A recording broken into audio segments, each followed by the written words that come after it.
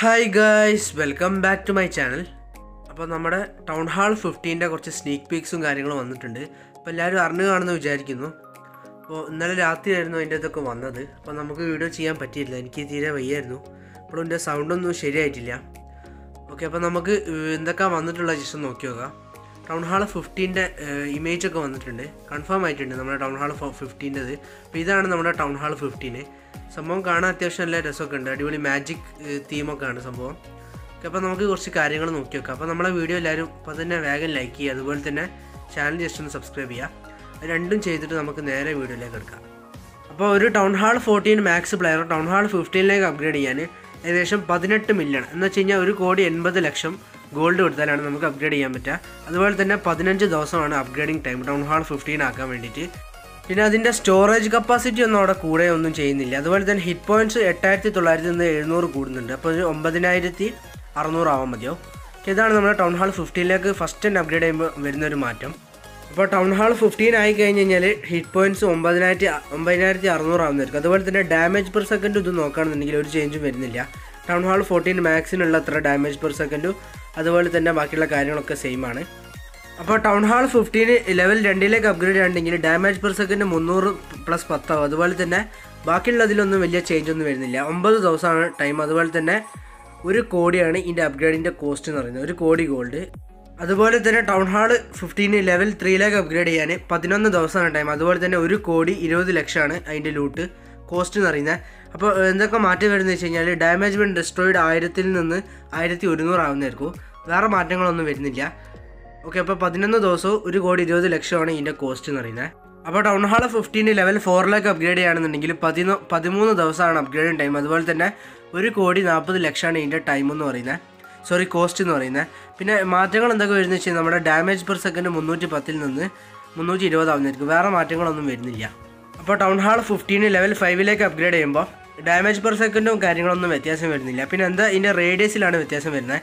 Area of effect for tiles ഉള്ളത് four point four plus zero point five ടൈൽസും കൂടി കൂടുന്നായിരിക്കും എന്ന് വെച്ച് കഴിഞ്ഞാൽ ഫോർ പോയിന്റ് ഫൈവ് ടൈൽസ് ആയിട്ട് മാറുന്നതായിരിക്കും കൂടുന്നായിരിക്കും അപ്പോൾ അതാണ് ഇവിടെ വരുന്ന ചേഞ്ച് ഓക്കെ ഗൈസ് അപ്പോൾ ഇതാണ് നമ്മുടെ ടൗൺ ഹാൾ ഫിഫ്റ്റീന്റെ ഓരോ ലെവലിന്റെയും ഇമേജ് എന്ന് പറയുന്നത്. അപ്പോൾ ഇവിടെ ഫസ്റ്റ് മുകളിൽ കാണുന്നതാണ് നമ്മുടെ ടൗൺ ഹാൾ ഫിഫ്റ്റീന്റെ ലെവൽ വണ്ണ് ഉള്ള ടൗൺ ഓക്കെ അപ്പോൾ അവിടെ എങ്ങനെ മനസ്സിലാക്കി വെച്ച് കഴിഞ്ഞാൽ അതിന്റെ മുകളിൽ റോമൻ നമ്പറിൽ എഴുതിയിട്ടുണ്ട്. വണ്ണ് പിന്നെ അതുപോലെ തന്നെ ടു ത്രീ ഫോർ ഫൈവ് എന്ന് എഴുതിയിട്ടുണ്ട്. അത് ജസ്റ്റ് നിങ്ങൾ സൂക്ഷിച്ച് നോക്കിയാൽ നിങ്ങൾക്ക് കാണാൻ പറ്റും.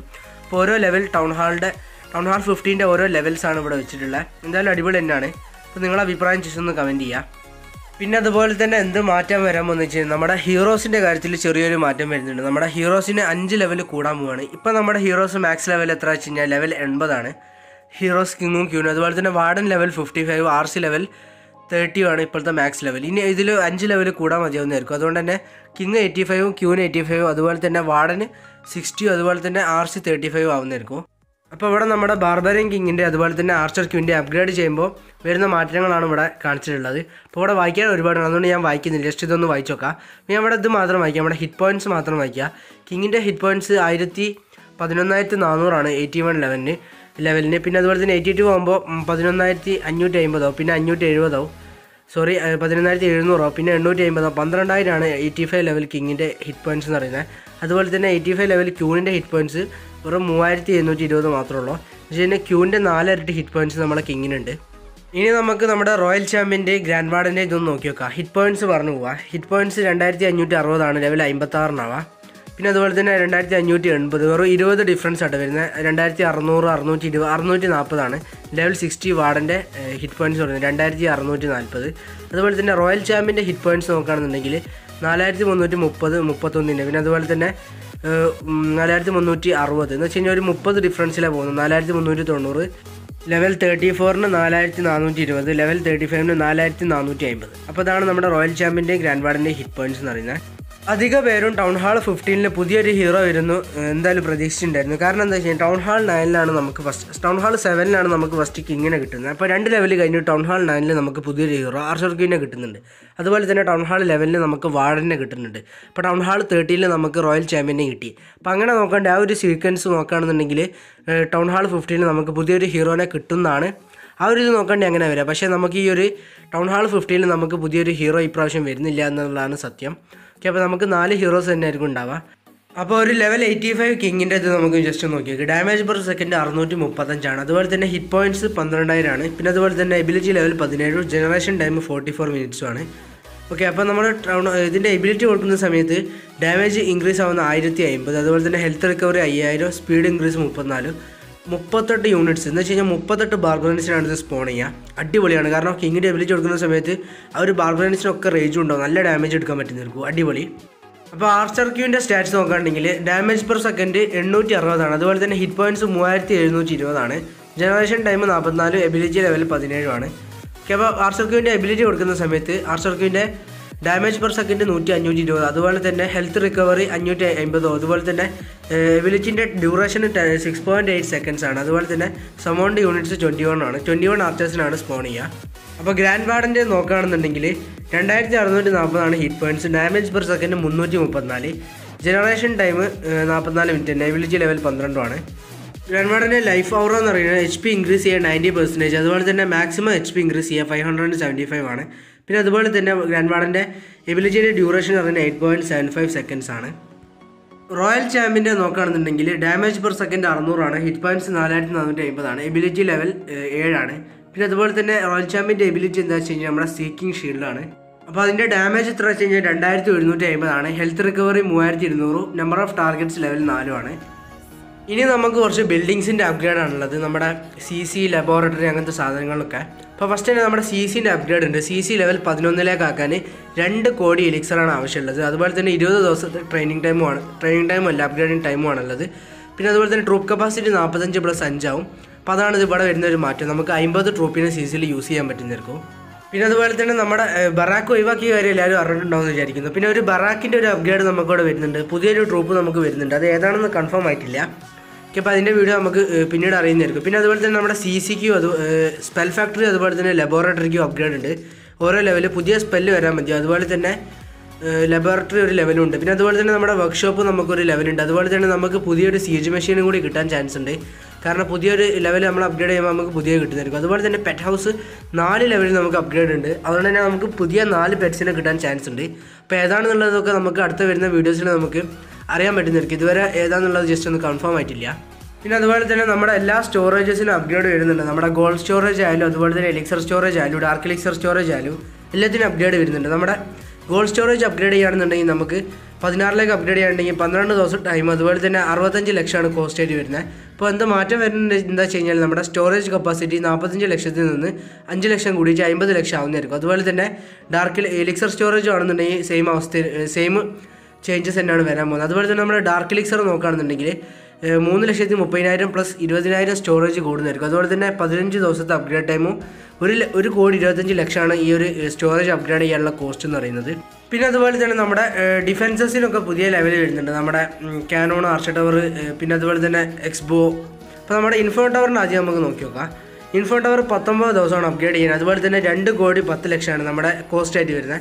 എന്താ മാറ്റം വരെ വെച്ച് കഴിഞ്ഞാൽ നമ്മുടെ ഡാമേജ് ഡാമേജ് പെർ സെക്കൻഡ് നൂറ്റി അഞ്ചിൽ നിന്ന് നൂറ്റി പതിനഞ്ചാവുന്നതായിരിക്കും അതുപോലെ തന്നെ സിംഗിൾ ഇൻഫോണിന്റെ നോക്കുകയാണെങ്കിൽ രണ്ടായിരത്തി മുന്നൂറിൽ നിന്നുള്ളത് രണ്ടായിരത്തി നാനൂറ് മാക്സിമം ടാർഗറ്റ് ആക്കുന്നതായിരിക്കും. ആ ഒരു ചെറിയൊരു ഡിഫറൻസ് മാത്രമുള്ള ഇൻഫോണിന്റെ കാര്യത്തിൽ വരുന്നുള്ളൂ. പിന്നെ അതുപോലെ തന്നെ എക്സ്പോന്റെ കാര്യത്തിൽ നോക്കണ്ടേ ഇരുന്നൂറ് പ്ലസ് പതിനഞ്ച് ഡാമേജ് കൂടുന്നതായിരിക്കും. ഹിറ്റ് പോയിന്റ്സ് നാലായിരത്തി എഴുന്നൂറ് ആവുന്നതായിരിക്കും പത്തൊമ്പത് ദിവസത്തെ ടൈമും അതുപോലെ തന്നെ രണ്ട് കോടി ഗോൾഡുമാണ് ഇത് അപ്ഗ്രേഡ് ചെയ്യാനുള്ള കോസ്റ്റ് എന്ന് പറയുന്നത്.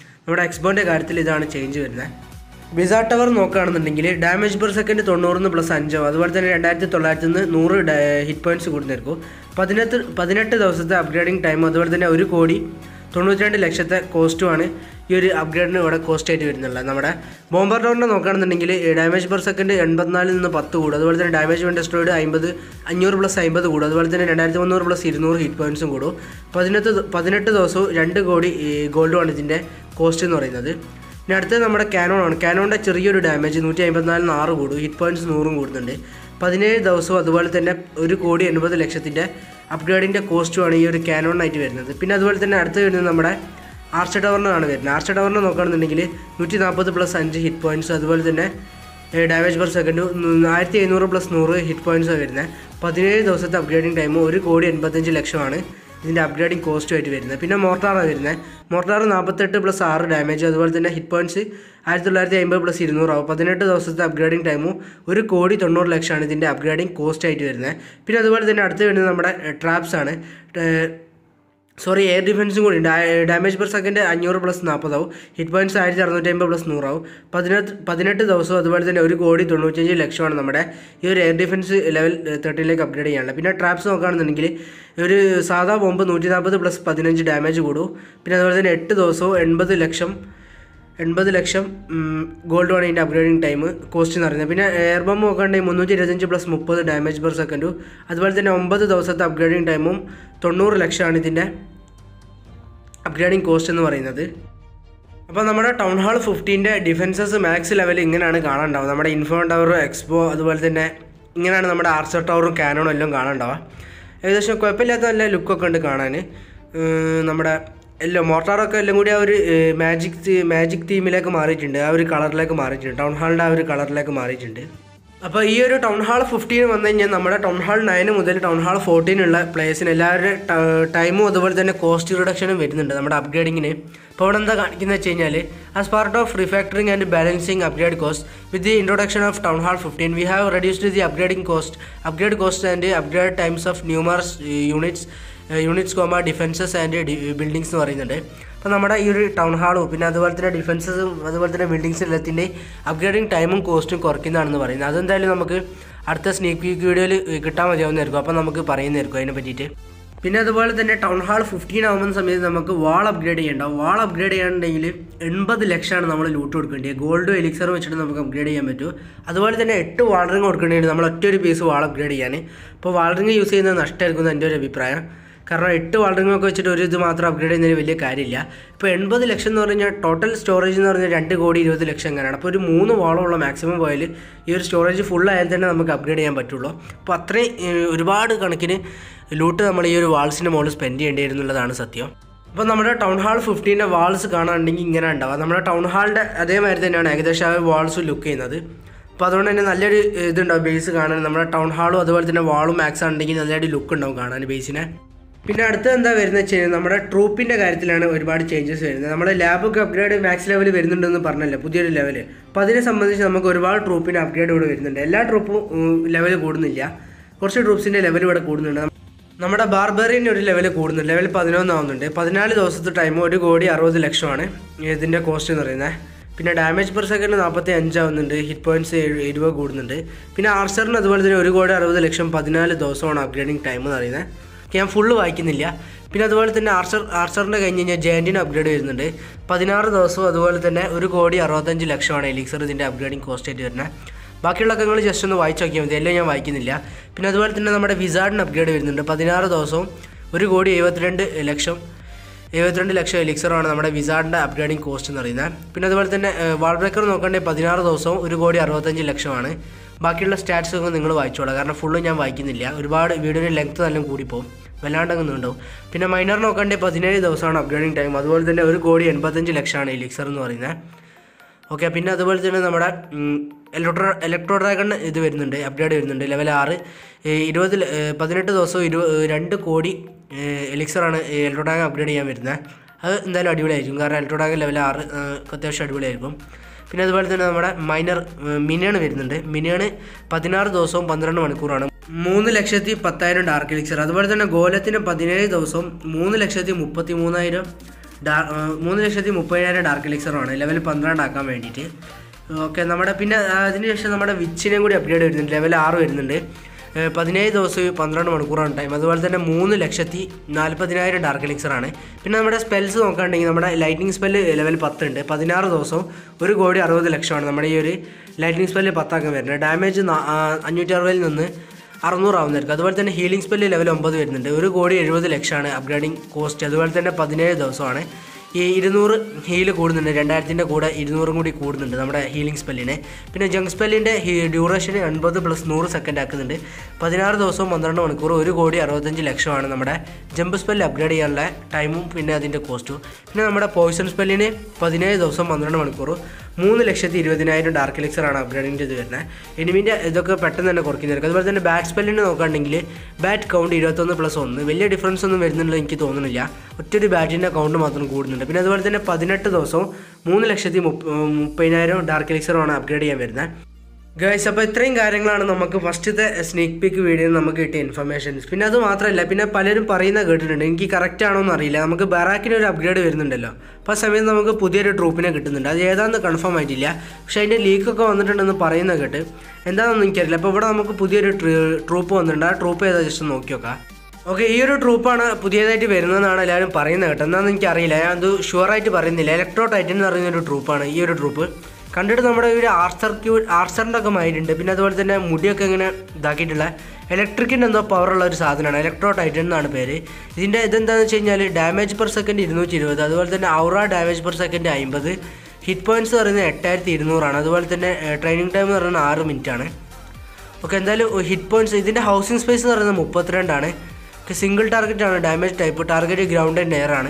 ഇപ്പോൾ ഇലക്ട്രിക്കിന്റെ എന്താ നമ്മൾ സൂപ്പർ വിസാറിനൊക്കെ പോലത്തെ എന്തോ ഒരു ഇലക്ട്രിക്കിന്റെ സാധ ക- കഴിവുള്ള ഒരു സാധനമാണ് ഒരു ഗ്രൗണ്ട് ട്രൂപ്പാണ് അതുപോലെ തന്നെ നമ്മുടെ ഇലക്ട്രോഡാഗൺ ഇലക്ട്രോഡാഗൺ നമ്മുടെ സൂപ്പർ വിസാറിന്റെ ഒക്കെ മാതിരി എന്തെങ്കിലും ഇലക്ട്രിക്കിന്റെ എന്തെങ്കിലും ഡാമേജ് ചെയ്യുന്ന ഒരു സാധനമാണ് പിന്നെ അതുപോലെ തന്നെ ഇതിന് മുപ്പത്തിരണ്ടാണ് ഇതിന്റെ ഹൗസിംഗ് സ്പേസ് അപ്പോൾ ഇത് അത്യാവശ്യം സ്ട്രോങ് ആയിട്ടുള്ള ട്രൂപ്പ് തന്നെയാണെന്ന് തോന്നുന്നത് ഏകദേശം നമ്മുടെ പെക്കന്റെ ഒക്കെ മാതിരി നല്ല സ്ട്രോങ് ആയിട്ടുള്ള ട്രൂപ്പ് ആവാനാണ് ചാൻസ് എന്ന് തോന്നുന്നത് അപ്പോൾ എനിക്ക് ഇതിനെ പറ്റിയിട്ട് കറക്റ്റായിട്ട് അറിയില്ല. ഇതൊരു ലീക്ക് ആണെന്നാണ് പറയുന്നത് കേട്ടോ. അപ്പോൾ ഇങ്ങനത്തെ ട്രൂപ്പ് എന്തായാലും പുതിയ വരുന്നുള്ളത് എന്തായാലും കൺഫേം ആണ്. അപ്പോൾ ഏത് ട്രൂപ്പാണ് വരുന്നുള്ളത് നമുക്ക് അടുത്ത വീഡിയോയിൽ നമ്മൾ പറയുന്നതായിരിക്കും. അപ്പോൾ ഇത്രയും കാര്യങ്ങളാണ് നമുക്ക് ഇതുവരെ കിട്ടിയ ഇൻഫർമേഷൻ അത് വെച്ചിട്ട് നമ്മളൊരു വീഡിയോ ചെയ്തതാണ്. അപ്പോൾ ഈ ഒരു വീഡിയോന് അത്യാവശ്യം നല്ല ലെങ്ത് കൂടിയിട്ടുണ്ടോ കാരണം ഒരുപാട് നേരം ഞാൻ കുറേ മണിക്കൂറുകളോളം കഷ്ടപ്പെട്ട് എഡിറ്റ് ചെയ്ത് ഉണ്ടാക്കിയ ഒരു വീഡിയോ ആണ്. അപ്പോൾ ഈ വീഡിയോക്ക് എല്ലാവരും ലൈക്ക് ചെയ്യാൻ മറക്കണ്ട. അതുപോലെ തന്നെ മാക്സിമം നിങ്ങളുടെ ഫ്രണ്ട്സിന് ഷെയർ ചെയ്ത് സപ്പോർട്ട് ചെയ്യുക ഈ ഒരു വീഡിയോ ഞാൻ മിനിമം ലൈക്ക് എക്സ്പെക്ട് ചെയ്യുന്ന ഒരു നൂറ് ലൈക്കാണ് അപ്പോൾ എല്ലാവരും മാക്സിമം ലൈക്ക് ചെയ്യുക. അതുപോലെ തന്നെ നമ്മുടെ ചാനൽ സബ്സ്ക്രൈബ് ചെയ്യുക.